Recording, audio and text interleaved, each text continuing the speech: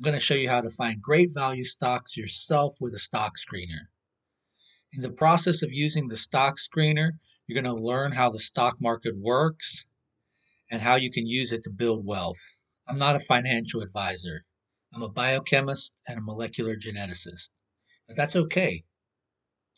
My career has taught me how to analyze data and use it to find insights. Probably many of you also know how to analyze data. That's great because the foundation for successful stock market investing is being able to analyze data. I have several principles that guide how I invest. Number one, I like to do my own research and don't blindly trust others. However, I do want to learn from others. Number two, I like free tools and free information. I'm willing to buy software or information, but only if I can see evidence that it's going to have some value. Number three, I have patience and can stomach stock market volatility because I'm thinking long term. Today I'm going to show you about FinViz. FinViz is a pretty good free stock screener that can help you identify great companies with long term prospects. There are thousands of stocks to choose from, and a stock screener can help you narrow the list down to a small number that you can deep dive research on. If you want to find stocks that could be a good long-term investment, you need to understand the business and the so, and the risks associated with it. The stock screener will allow you to find great value stocks before other people realize it. If you want to have great investing results, you can't follow the herd unless you want to get the herd results. As Warren Buffett says, most people get interested in stocks once everyone else is. The time to get interested is when no one else is. You can't buy what's popular and do well. For me personally, I was able to learn a lot about the stock market and investing by using a stock screener because I would look up all of the different metrics that were on the stock screener to try to understand what they meant. Here are several things that are characteristic of a good business with good long term prospects. A good business will have strong return on assets. It'll also have a good gross profit margin and net profit margin, and it'll have low debt. If a company doesn't have much debt, it's going to be really hard for them to go bankrupt. My name is Rahul Patharkar. Let's get into using FinViz. FinViz can actually do quite a lot of stuff. Right here, I'm on the screener tab, which is, of course, what I'm going to show you today. You can see that there's actually 8,516 stocks in, uh, in the FinViz library. In order to do well in investing, you're going to have to do a deep dive analysis on your final long term uh, stock purchases, where you try to figure out the future cash flows. That's going to take a lot of time, and there's no way that you'll be able to do that for 8,000 plus stocks. That's where the stock screener comes in. Is it weeds out a lot of the bad stocks that you couldn't possibly dream of investing in, and so that you can focus on the ones that are a possibility. Now, FinViz can do actually do a whole lot of other things. I'm not going to get into that too much today, um, but let's just let's just take a, a browse through it. So, for example, it can show you how the entire stock market looks. As you can see here, you can see what's called a map view, um, the carpet map view, and each stock is depicted in how big a market capitalization it is. And you can see that, of course, Apple is the biggest stock in the US, in the S&P 500, um, followed by Microsoft, and you can find a whole lot of other um, stocks in this and see their size. And it's color coded in terms of whether they went up or down today, or you could change that to a month. You can see that in the last month, a lot of stocks have been down. Anyway, let's get back to the screener. So within the screener, we have we have three tabs. Descriptive tab, which is a lot of um, descriptions about the stocks, like what exchange they're on, what sector they're in, what industry they're in. And again, by going through and looking at all these different tabs and starting to understand it, you'll get a better understanding of how the stock market itself works. Uh, fundamentals are fundamentals of the business. These are related to earnings and how the company makes money. Um, and then there are technicals, which are related to the price movement. In order to find long-term investments, you fundamental analysis is one of the is is a very important part of this. These are some of the defaults that I might use to find um, good companies that have some prospect for the future.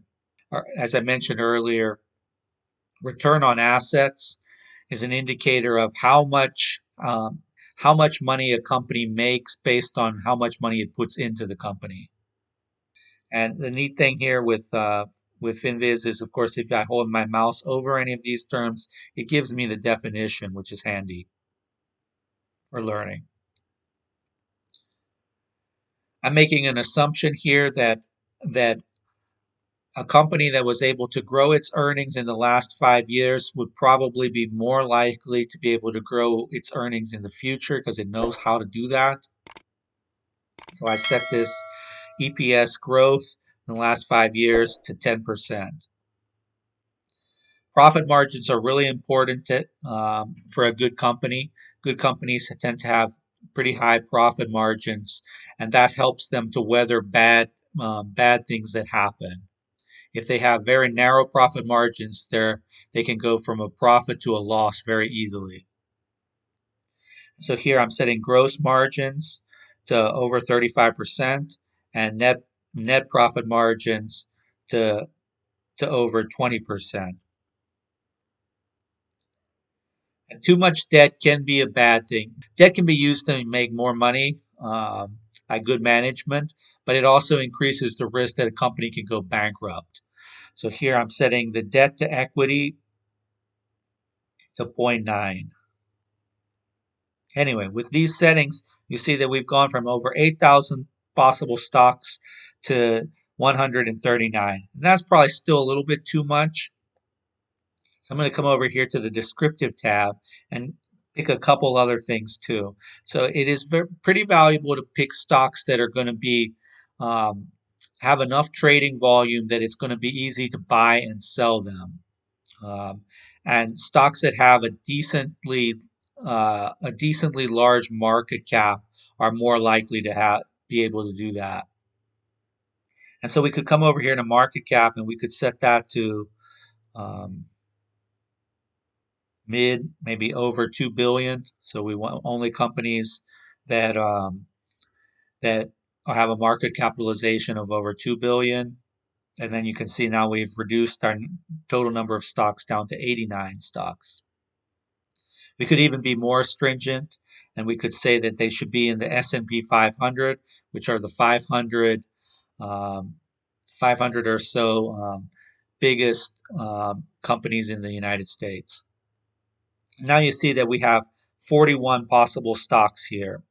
And now we have a lot of information that we can display here. And so what we're interested in, these are companies that have that that are likely decent companies. We would have to deep dive into them to understand if that's really true or not, and we wouldn't want to just believe the screener blindly. We can click the valuation tab, and now we can sort, sort them in the cheapest price per earnings or forward earnings. So if I click this tab here, now all of those 41 stocks are sorted in which ones are cheapest per um, per earnings. So price to earnings means that this first one, Micron, this first one here sells at 5.83 times its earnings. You can look at other stocks here and you can see other stocks that you might know. They're Probably have heard of Pfizer. Um, probably have heard of Intel. Most likely you've heard of Facebook, um, Google. Those are those are companies that um, they're li- they're likely to be good companies and they trade at a reasonable price to earnings. Now, if we click any of these, we can see more about them. So, for example, I'll I'll click Pfizer here. And so now you can see the, the price, the price action in daily, in a daily chart um, over the last several months. We could click that. Uh, we could change the time frame. We could put monthly, so we could see a longer term. You can see that actually Pfizer has been pretty good at consistently going up um, over the last decade. If we scroll down here, we can also see um, other characteristics of Pfizer, you can see its market capitalization is uh, 288 billion. Um, it pays a 3.2% dividend. Um, we already looked at that price to earning ratio, so it has a um, a price to earning ratio um, of 12.65. That's a trailing price to earnings. And again, you can just hold your mouse over it and it'll tell you stuff about it. Um, and a forward price to earnings of 8.9. How do those P values compare to the market overall? Well, here we can see that the forward PE of the S&P 500 is 17.5. For mid caps, it's 12.9, and for small caps, it's 12.5. You can see that actually mid cap and small caps are a little bit cheaper per earnings than the large cap stocks. But anyway, 17.5. And you can see that Pfizer trades considerably less than the S&P 500 average of 8.9. Now, Pfizer may not be growing very much, and so that, that can be a reason for it. However, it does pay back a dividend. We click something else on the list. Let's click the number one on the list, Micron. Micron makes memory chips. They make DRAM and um, and flash media, like 3D NAND. A semiconductor company. Long term, Micron has also gone up, although you can see it's more volatile. If you're willing to hold it through these um, ups and downs, you can see that you can make a decent amount of money over the past decade. You can see here it has, you know, really, really low price to earnings, price to earnings of 5.83 compared to the S&P 500. Um, very low debt, good current ratio, etc. Um, and it's projected to grow at 29.65% for the next five years. If that in fact happens, um, this could possibly be a, a decent investment. Anyway, you're going to want to give FinViz a try. I would, I definitely use other software as well. I like to use, like I said, free software, so I go look through all the data that I can.